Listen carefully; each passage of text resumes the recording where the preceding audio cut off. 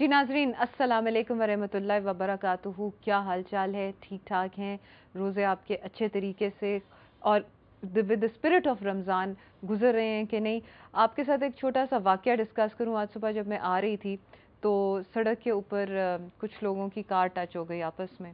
تو bumper to bumper اس میں یہ ہوا کہ وہ دونوں حضرات اتر آئے اور انہوں نے آپس میں پہلے تو تو تو میں میں سے شروع کی بات اور پھر بات دستوں گربان تک ہونے کی آ گئی تو دیکھ کے بڑا افسوس ہوا کہ رمضان کا اسپرٹ جو ہے وہ ابھی تک ہم لوگوں کے اندر نہیں گیا اور جو آس پاس کے لوگ تھے انہوں نے بچ بچا کر آیا اور ان کا کوئی گل نہیں جی روزہ ہوئے گا، فلانے کا جی روزہ ہوئے گا ان کا۔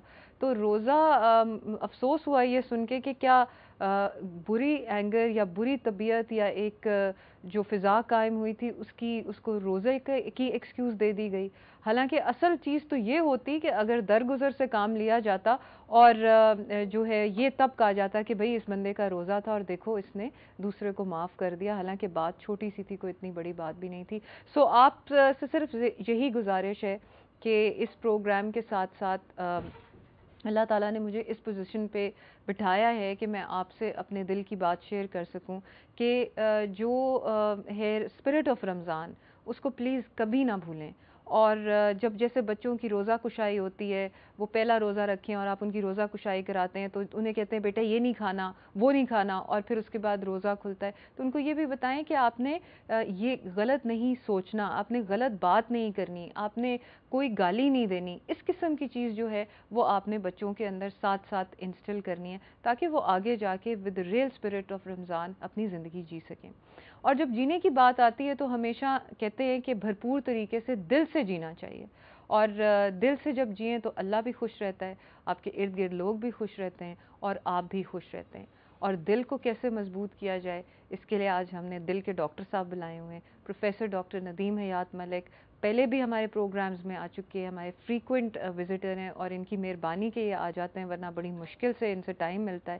اور صرف اس وجہ سے جب ہم ڈاکٹر صاحب سے کہتے ہیں کہ ہم پبلک اویئرنیس کے لیے چاہتے ہیں کہ آپ بولیں، تو وہ کہتے ہیں کہ اچھا ٹھیک ہے، میں اپنی تمام مصروفیات کینسل کر کے آ جاؤں گا just to inform the public کہ وہ اپنی صحت کیسے صحیح کر سکتے ہیں۔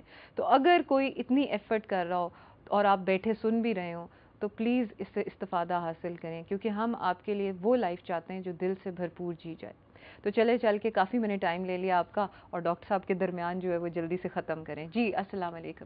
وعلیکم السلام۔ کیا حال چال ہے ڈاکٹر صاحب؟ جی کیسے جا رہے ہیں آپ کے روزے؟ روزے بالکل ٹھیک ماشاء اللہ بہت استفا اللہ تعالیٰ کی مہربانی سے۔ گرمیاں جو ہیں وہ ایک دم ان میں کمی آ گئی ہے اور ہاں، موسم جو ہے وہ بہت بہتر ہو گیا ہے چونکہ ہاں۔ گرمی اور لوڈ شیڈنگ میں سب لوگوں کا روزہ رکھنا مشکل ہوتا جا رہا صحیح بات ہے صحیح۔ لوڈ شیڈنگ میں کمی نہیں آئی ویسے ڈاکٹر جی ہاں۔ جی۔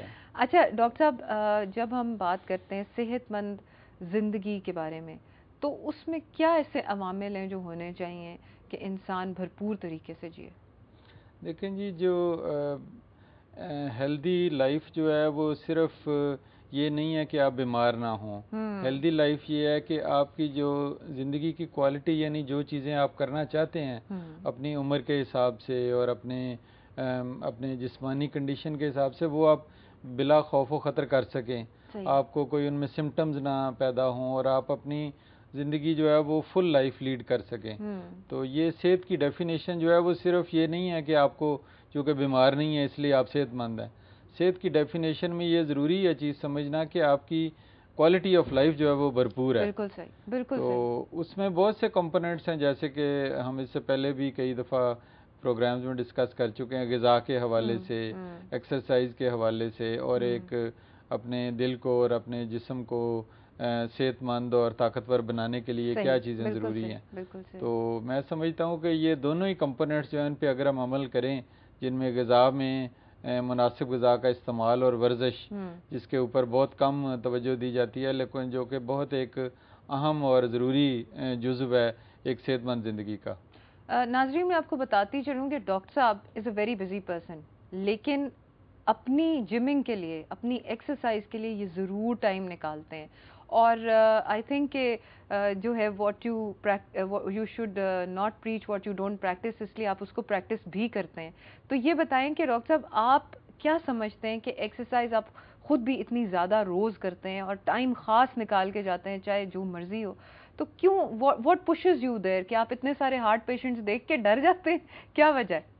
بالکل صحیح بات ہے جی لیکن بیسیکلی یہ سمجھنا ضروری ہے کہ سیڈنٹری لائف یعنی کہ جو ایک آرام دہ زندگی ہے وہ ایک رسک فیکٹر ہے ہارٹ ڈیزیز کے لیے۔ بہت بڑا۔ تو ایکٹیو لائف سٹائل یا فزیکل ایکٹیویٹی جو ہے وہ انسان کو نہ صرف دل کی بیماری سے بچاتی ہے بلکہ اس کی عمر میں اضافہ کرتی ہے۔ اور ایسی بہت کم انٹروینشنز ہیں میڈیکل سائنس میں جو کہ انسان کی عمر کو بڑھا سکتی ہیں۔ لیکن ورزش ایک ایسی چیز ہے جو کہ آپ کی عمر میں واقعی اضافہ کر سکتی ہے۔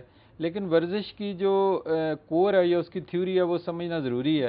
جب بھی آپ کوئی بھی ایکسرسائز شروع کریں تو سب سے بیسک کمپوننٹ یہ ہے کہ اگر آپ کی ایج جو ہے وہ 35 سے اوپر ہے یا 40 کے قریب ہیں آپ تو ایک دفعہ اپنا مکمل معائنہ یا چیک اپ ضرور کروا لیں۔ کوئی بھی ایکسرسائز شروع کرنے سے پہلے چونکہ ممکن ہے کہ کوئی ایسی ہڈن بیماری ہو جس کا آپ کو پتہ نہ ہو اور جو آپ کی ورزش میں رکاوٹ آئے یا اس کی وجہ سے آپ کو پرابلم دے۔ اب یہ ہے کہ مریضوں کو ضروری ہے کہ وہ ایکسرسائز سے پہلے ضرور اپنے فزیشین یا کارڈیولوجسٹ سے رابطہ کریں تاکہ وہ ان کو بتا سکیں کہ وہ کس انٹینسٹی کی ایکسرسائز سیفلی کر سکتے ہیں۔ کیونکہ اگر ایکسرسائز کو اوور ڈو کیا جائے تو وہ نقصان دہ بھی ہو سکتی ہے خصوصاً مریضوں کے لیے۔ لیکن ہاں۔ صحت مند لوگ جو ہیں وہ بائی فار اینڈ لارج ان کو صرف فائدہ ہی ہوگا اس سے نقصان نہیں ہوگا۔ تو ورزش کی جو ہے وہ بیسیکلی اس کو ہم تین اس میں ٹائپس میں ڈیوائڈ کر سکتے ہیں۔ پہلی جو ہے وہ جن کو ہم کہتے ہیں کہ کارڈیو ویسکولر یا ایروبک ایکسرسائزز جو ہیں جو کہ ہارٹ کے لیے بلڈ پریشر کے لیے آپ کا ویٹ کم کرنے کے لیے ان میں واکنگ جاگنگ اس طرح اور بہت سی سوئمنگ یہ ساری ایکسرسائز جو کہ آئسومیٹرک آئسوٹونک ہیں جن میں ساری باڈی کے میجر مسل گروپس جو ہیں وہ انوالوڈ ہیں۔ تو یہ ایکسرسائز کے لیے کا ایک بہت اہم جزو ہے اور اس کے ذریعے آپ کے دل کو فائدہ پہنچے گا۔ نام ہی اس کا کارڈیو ویسکولر یہ کارڈیو ویسکولر یا ایروبک بھی کہتے ہیں۔ دوسری جو ایکسرسائز کی قسم ہے وہ اسٹریچنگ ایکسرسائز ہیں۔ اسٹریچنگ ہوتی ہے جب آپ اپنے بازو ٹانگیں جسم کو پوری طرح اسٹریچ کرتے ہیں جس سے آپ کی جوائنٹ فلیکسیبلٹی اور آپ کے جوڑوں میں مضبوطی آتی ہے آپ کے مسلز کے اندر الاسٹیسٹی پیدا ہوتی ہے۔ تو اسٹریچنگ جو ہے وہ بھی ہر ایکسرسائز کا ایک ضروری کمپوننٹ ہے۔ اور تیسرا جو اس کا پورشن ہے وہ اسٹرینگنگ ہے یعنی کہ جس میں آپ اپنے جسم کو کنڈیشننگ کرتے ہیں جس میں ویٹ ٹریننگ آ سکتی ہے اس کے علاوہ پش اپس یا باقی ایکسرسائز ہیں جسم کے باڈی پارٹس کی جو کہ اسپیسیفک ہیں فار دیٹ پرٹیکولر ایریا جو کہ آپ کے مسلز کو طاقت دیتے ہیں اور ان کو اس قابل بناتے ہیں کہ وہ بہتر سے بہتر طریقے سے پرفارم کر سکیں۔ تو یہ تینوں جو جزو ہیں یہ ہر ایکسرسائز کا ایک کمپوننٹ ہے ضروری ہے اس میں۔ لیکن اس کے ساتھ جب آپ ایکسرسائز شروع کریں تو آپ وارم اپ کریں۔ وارم اپ کا مطلب ہے کہ آپ اپنے مسلز کو آہستہ آہستہ اس ٹیمپریچر اور اس حالت میں لے کے آئیں کہ وہ ورزش کر سکیں۔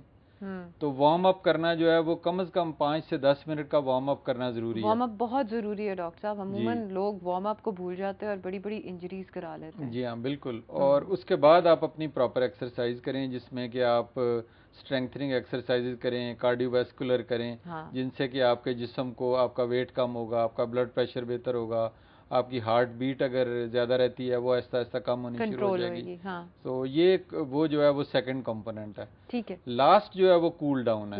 ہاں۔ یعنی کہ آپ آہستہ آہستہ لو لیول ایکسرسائز کریں جس سے کہ آپ کا جسم جو ہے وہ دوبارہ ریسٹنگ فیز میں چلا جائے اور آپ کے مسلز میں جو لیکٹک ایسڈ وغیرہ بلڈ اپ ہوا ہے وہ آہستہ آہستہ ڈسپرس ہو جائے۔ صحیح صحیح۔